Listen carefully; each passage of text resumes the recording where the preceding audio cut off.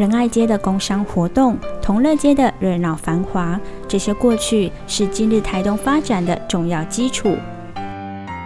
由于没有刻意保存这些过去，目前只能聆听老人诉说，在一些老照片中回味，或是走到老街中追忆。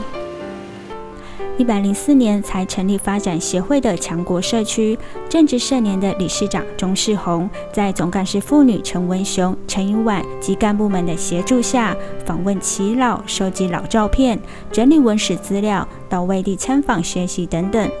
企图凝聚共识，找到老社区的新生命。一年多来，办理老照片影像展及五场活动，还发行了一百零五年的月历，广发各界，行销地方人、地方事。由于风评良好，一百零六年的月历编辑当中，这次的重点放在地方民间团体介绍。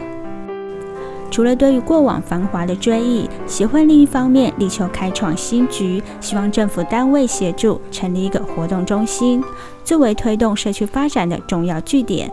慢慢的有把打把大家的居民的心有拉拢过来，但是还是要有有有一个地点，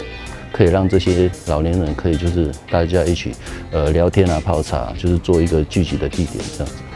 我们社区最大特色是有一些人文历史文化在，尽量找回日据时代草厝街的那个原貌，然后跟找回以前那种浓浓的人情味。在兄弟合作经营的中西式早餐店里，明显感受到社区的一天正沸沸扬扬的准备开始，同时也意味着发展协会为社区翻转而努力的一天也准备开始。